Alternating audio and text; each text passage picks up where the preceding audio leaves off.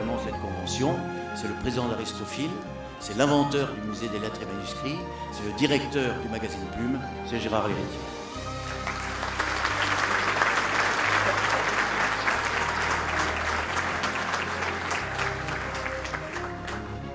Mesdames, Messieurs, mes chers amis, bienvenue à vous, bienvenue dans ce lieu mythique.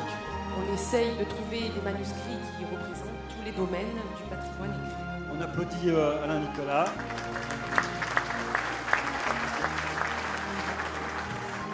Oui, eh bien, je vais vous parler de la valeur financière des autographes. Histoire du marché, évaluation, perspective. C'est un domaine extraordinaire, un domaine de passion. Vous rentrez dans un monde de passion. Dès que vous prenez un autographe et que cet autographe vous touche, vous avez tout compris à la collection d'autographes. C'est un, un beau compte de résultats pour l'année 2008. On a bien progressé donc de 53% par rapport à l'exercice précédent. Et on a une marge qui est stable, à 57%. Alors, vient la vente aux enchères, la vente aux enchères, les organisateurs enquête sur le mystérieux acheteur que vous faites sur X. Dès que enquête sur le mystérieux acheteur, c'est que bien sûr vous n'allez pas être qui présente des lettres et des manuscrits des collections d'Aristophile, donc il y, a, il y a une partie permanente là.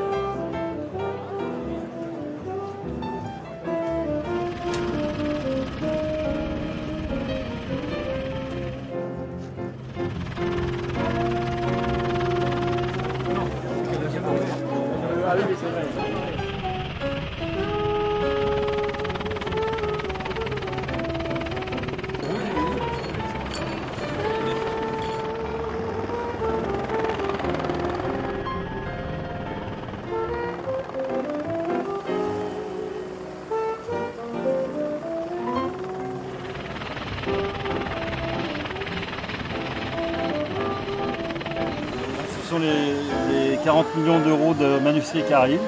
Le manifeste du surréalisme, euh, vous avez Saint-Exupéry, vous avez le, fameux manuscrit d'Einstein-Bessot euh, de la relativité générale, euh, beaucoup de choses comme ça. Vous allez pouvoir les voir dans les vitrines.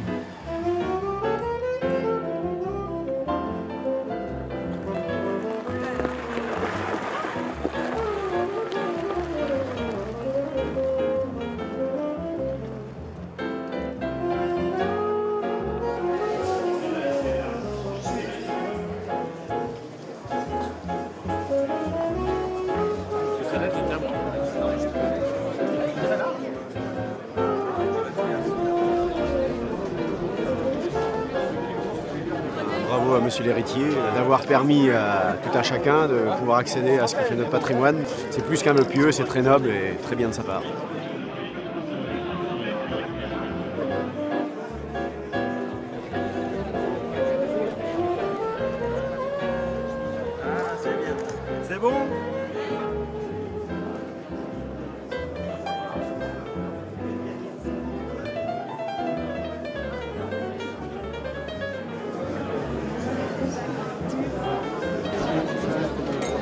C'est magnifique l'endroit, c'est magnifique ce qu'on a vu, c'est magnifique ce qu'on a entendu. Et on Donc, continue. euh, et on continue certainement parce que. Certainement. Encore plus motivé qu'avant. Oui. J'ai été très, très content de, de venir à cette convention. Je connaissais beaucoup des manuscrits qui sont exposés là, parce que beaucoup sont passés par mes mains. Euh, je pense que je prendrai une des lettres d'amour de, de Napoléon, euh, l'album de Victor Hugo et le, et le testament de Louis XVI. Ça fait beaucoup. C'est magnifique. En fait, on a ici un espèce de condensé de toutes les merveilles quoi, du musée des lettres et des manuscrits. Oui, je trouve ça bien. Je, je vois que des gens euh, intéressés, passionnés. Euh, Il y a énormément de gens. Je ne m'attendais pas du tout à qu'il y ait autant de personnes. Euh, et c'est bien de pouvoir donner des conseils, expliquer des choses. Voilà. Mesdames, Messieurs, on termine l'exposition. Que quelques minutes. Et on se retrouve dans les salons de l'Orangerie. Je suis en tout cas très content d'être parmi vous, ça je, je le sais. Euh, très content parce que vous êtes des passionnés et puis que vous parlez à des passionnés. Il se trouve que j'ai une passion pour Victor Hugo depuis très longtemps parce que c'est un personnage qui vivait sa vie d'une manière extraordinairement intense. J'avais énormément d'admiration pour lui, pour sa ténacité, son obstination. Et tout ce qui venait de lui me plaisait. J'avais réussi naguère à, me procurer un, petit dessin euh, qu'il avait fait euh, dans son exil de proscrit à Guernesey. Et euh, j'avais voulu avoir un- des carnets. Donc je m'étais euh, renseigné. J'étais allé quand même le, matin chez Sotheby's. Euh, Anne m'avait montré les différentes pièces qui, me plaisaient. Et donc je décide de- d'enchérir par téléphone. Et à chaque fois que j'arrivais au plafond de ce que je m'étais imposé, il y avait toujours une réponse d'Anne au bout du téléphone qui me disait Bah non, il y a un enchéreur anonyme qui dit euh, plus. Bon, alors ça va. Donc euh, je suis allé au double du plafond que je m'étais imposé, comme évidemment tous les fous. Euh, et il y avait toujours l'imbécile qui, à l'autre bout du fil, insistait. Donc je me suis arrêté à chaque fois. Et puis, donc, j'ai évidemment rien, rien obtenu ce fameux jour. Et puis, entre deux discussions, je, je parle à, à Gérard, parce que je connaissais sa passion, et je lui dis, bah, tu vois ce qui m'est arrivé, Victor Hugo, la fois dernière, puis, sous le nez, etc., la lettre de Rimbaud, sous le nez, etc. Et il me dit, bah oui, l'imbécile, c'était moi. Et voilà. Donc, je le retrouve quand même, c'est vous dire que je ne suis pas rancunier, quand même. Voilà. Aujourd'hui, quel serait le- l'écrivain pour lequel vous feriez une petite folie?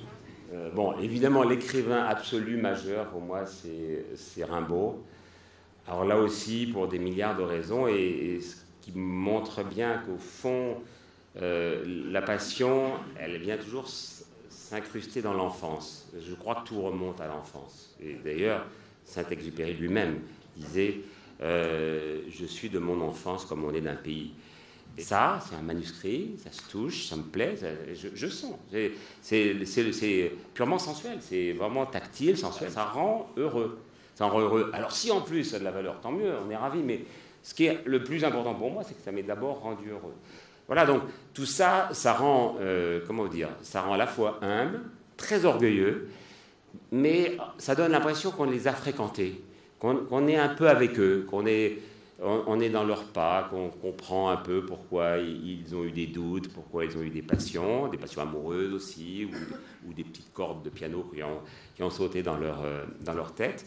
Voilà, c'est pour ça que les manuscrits, pour moi, c'est capital.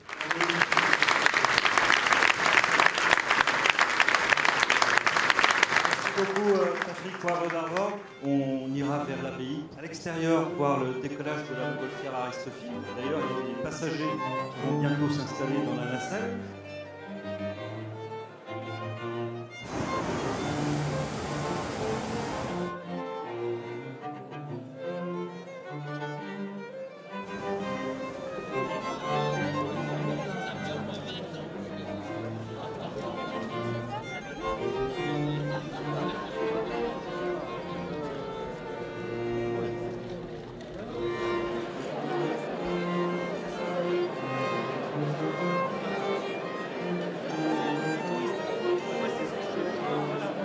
Alors, la plume d'or est attribuée à monsieur Patrick Poivre d'Arvor. Très très content d'avoir fait ça. Merci beaucoup Gérard.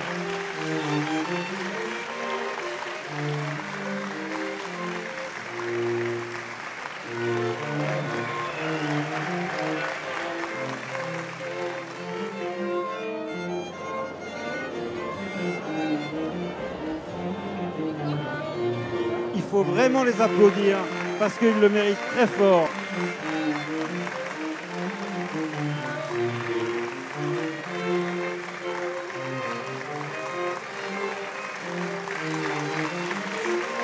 Bravo à tous.